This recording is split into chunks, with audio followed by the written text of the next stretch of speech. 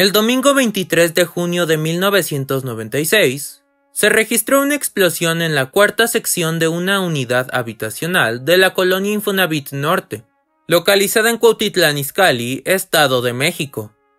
Esta provocó el derrumbe parcial del edificio E-123, en el que habitaban personas. De acuerdo a lo que se ha relatado por los residentes y los cercanos al lugar, el yerno de la señora Libertad, mujer que vivía en el primer piso, fue el causante del siniestro. En Infonavit Norte hay gas natural por tuberías debajo del suelo, y este hombre tenía un cilindro de gas conectado a su boiler. Cada que lo prendía cerraba la llave de paso de gas natural. Ese día olvidó cerrarla y abrió el piloto del boiler, el cual al intentar prenderlo provocó la explosión. Cabe aclarar que el tanque de gas no fue el que explotó, sino la tubería.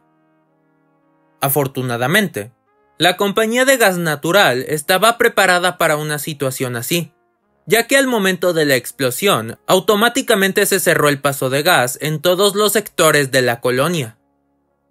A pesar de esto, varios de los vecinos no lo sabían, y tenían miedo de que otros sitios del vecindario explotaran, provocando pánico y haciendo que salieran de sus casas corriendo a diferentes puntos contiguos a buscar refugio.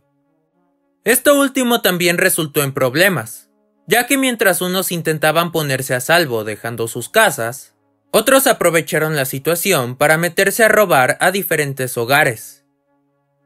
Los vecinos relatan que no hubo decesos, pero el periódico La Prensa, que informó este hecho como su noticia principal, reportó que hubo cinco víctimas y un total de 300 damnificados, además de afirmar que supuestamente la explosión fue provocada por dos tanques de gas. Algunos de los afectados fueron apoyados por el gobierno municipal de Izcali, mientras que otros tuvieron el infortunio de terminar en situación de calle. El edificio nunca se remodeló, ni tampoco hubo intentos de rescatarlo o reconstruirlo, quedando en el completo abandono.